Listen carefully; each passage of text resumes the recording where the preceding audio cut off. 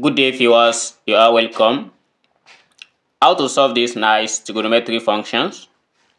We have sine x multiplied by tan x equals cos x. And what is the value of x? So here we have x as a member of real number. So let's see how we solve this for the value of x or let's say all the values of x because x here is something that continuous. So because we are giving sine tan and the cos which are the trigonometry functions. So there are many x that will satisfy this. Let's start. The first thing we are going to do here is suppose we recall from if we have tan x, this is given as sine x divided by cos x. This is an identity we should familiar with. And uh, by replacing it, we are going to have sine x multiplied by sine x divided by cos x equals cos x. Then sine x multiplied by sine x, this gives us sine square x divided by cos x equals cos x. At this stage, suppose our cos x is not equals 0. So if cos x not equals to 0, then Let's multiply throughout by cos x.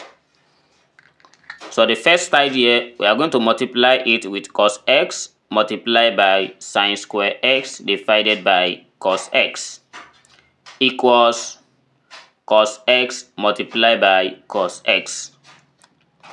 So cos x cancelled cos x. Then we have sine square x equals cos square x. So makes sense. Then let's record from the another identity as well. So recalling this identity, if we have sine square x, this equals 1 minus cos square x. So replacing this line with this identity, we are going to have 1 minus cos square x equals cos square x. And we have cos square x here, which is negative. Here is cos square x, which is positive. By adding cos square x to both sides, this cancelled as we have 1 equals cos square x plus cos square x. This gives us 2 cos square x. And next we have, so we have 2 cos square x equals 1. So by dividing both sides by 2, we make cos square x the subject of the formula which is cos square x equals 1 divided by 2. Then we need to find cos x, but this is squared.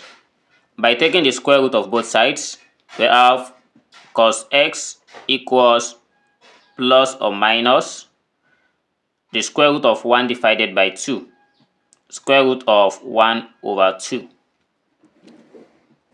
So this can also be simply written as cos x equals plus or minus 1 divided by root 2 and uh, some can still write it as root 2 divided by 2. Any of these two is correct. But what are the value of cos x that gives us 1 divided by root 2? There are many. So the basic one is, suppose I press cos 45. So this gives us 1 divided by root 2. But here is negative. there is no issue with this negative, either positive or negative, cos is an even function. If we plug in cos of minus 45, it gives us 1 divided by root 2. Or we leave it as root 2 divided by 2. But let's write it in a radian. So we have 45 here. The 45 is the same thing as pi divided by 4.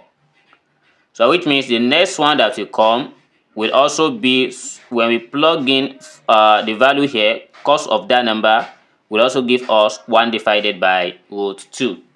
And what are those number? So the next one will be 3 pi divided by 4. And uh, we still have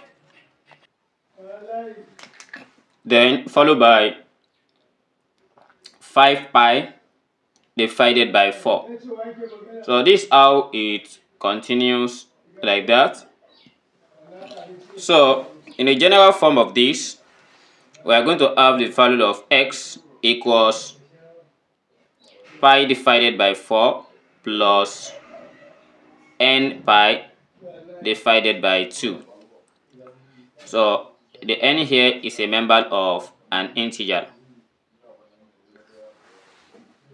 But what if cos is 0? So the first time I divine that cos is not equal 0. Suppose cos of x equals 0. So we are going to have an undefined expression because when we substitute into the given questions, we have sine x multiplied by sine x over cos x. So this equals cos x. So changing cos x equals to 0, we have everything here spoiled. So that is, we are going to have sine square x divided by 0 equals 0. So this is undefined at this side. So we have to put that condition that cos x is not equals 0. And we can't do it in this way, so where I let sine square x equals 1 minus cos square x, we can actually make cos square x to be equals uh, 1 minus sine square x and we solve for sine instead of cos. So this is how we solve this problem.